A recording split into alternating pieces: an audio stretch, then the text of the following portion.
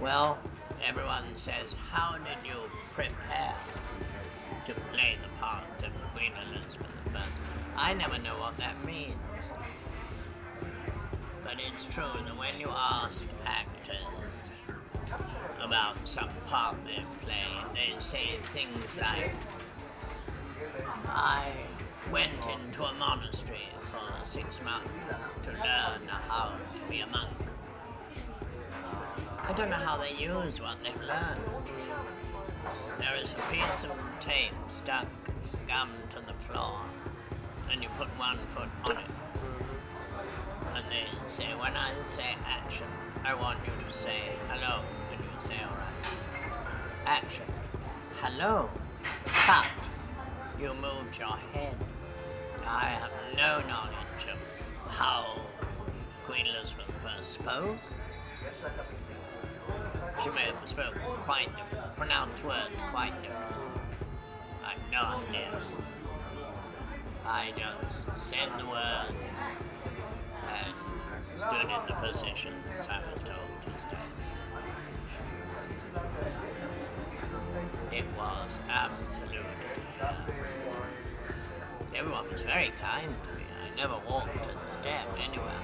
I was driven from the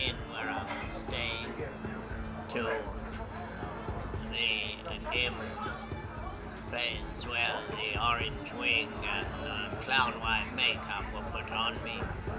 Then I was driven, and it was hardly any further across the road, to a trailer called a relocator where I stood while the dress was put on me.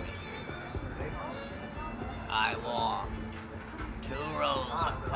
fabric round my middle tied with tapes, then a hooped skirt tied with tapes, then a quilted petticoat, then an ordinary petticoat, and then the dress.